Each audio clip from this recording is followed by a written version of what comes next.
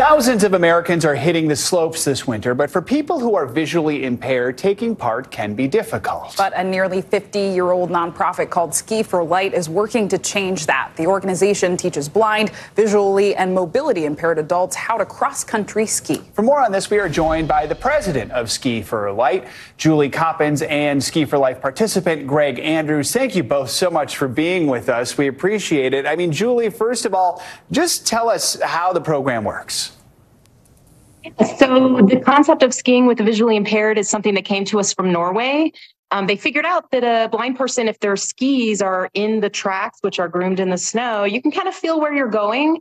So that combined with a guide's verbal instructions helps the skier kind of navigate uh, the trail. We've developed methods of teaching someone how to ski who can't see what you're doing. You can't just say, do this. You have to put it into words. So we've developed a method of instruction that works pretty well, I'd say. Absolutely. It's beautiful. Yeah.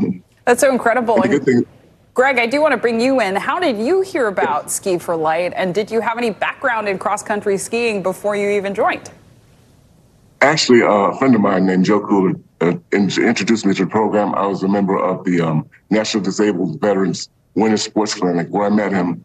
And we do alpine skiing there. And he introduced me to all concept of cross country skiing, ski, ski for light. Now, this is my third time here uh, in the program. And we have two things. We have guides and we have uh, visually impaired and mobility, mobility impaired skiers. The guides are, beacons of light who get us through everything, and not only on the outside of the tracks, but within the organization. I'm, I'm very privileged and happy to have um, the president, Ju- Julie, who's my guide. She also she talks the talk, walks the walk, and lights the path for me to follow. So it's beautiful. Man. Oh, that is so good to hear. I mean, each year you guys conduct, Julie, a week long event that attracts people from all around the world. I think you're in the middle of that event right now. Tell us more about it. We are right midway. So we are in Granby, Colorado right now at Snow Mountain Ranch, YMCA of the Rockies. We've had events all over. Next year, we're going to be in Rhinelander, Wisconsin. So Wisconsin cross country skiers come be guides with us.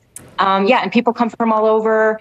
Um, I've been coming since 1997. That was my first year as a guide in uh, Minnesota.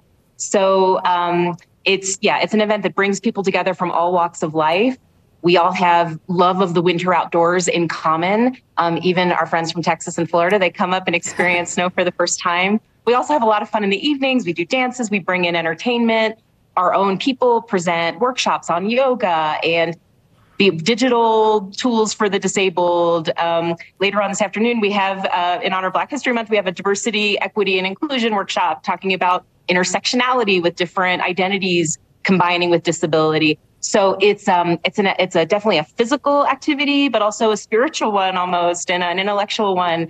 And you come away from the week just feeling like your best self, 100% alive, and you've made lifelong friends. Yeah, definitely. And it's, it's a can do culture. Hmm. Everybody's here to encourage each other, and it's really full of inspiration and life. And I love it here. I mean, so incredible. Clearly a strong community. I could see you bundled up with your scarves and the fireplace behind you. And I'm just impressed by skiers, period, because I cannot ski to save my life. So, Greg, how did you, how was Never that say first? never. I, I don't know. I, I fell on my face pretty hard. But, Greg, I wonder for you, what was your first ride like with Ski for Light?